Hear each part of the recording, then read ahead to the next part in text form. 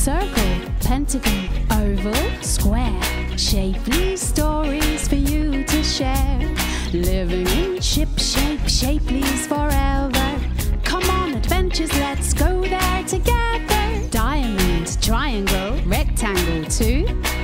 Am I an octagon waiting for you?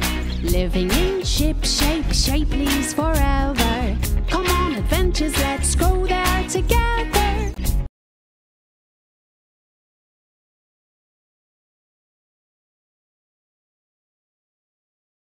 It was morning in Shipshape, and everyone was waking up.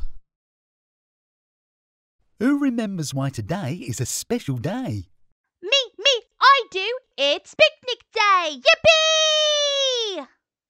The Shapeleys jumped out of their beds to get ready for their special day. Pentagon Pete was hard at work making sandwiches. He hummed as he worked.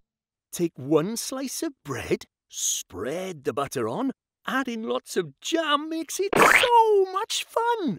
Before long, he had a wonderful tower of sandwiches. Mm, mm. What are those? They aren't my shape. Square Simon had an idea. Watch this then. Look, a diamond. Pentagon Pete, look, not just one triangle, two. The two Shapeleys snipped and snipped until they had a pile of perfect shaped sandwiches. With the rest of the food and drinks packed, the Shapeleys jumped out of their doorways and into the cylinder car. Triangle Trevor was in such a rush to get the front seat, he tripped over his own feet and everyone ran past him. Circle Carly drove the car all the way to the picnic site. Bumpy road ahead, everyone. Hold on tight. At last, the Shapeleys reached their picnic spot, and everyone helped set up the picnic blanket.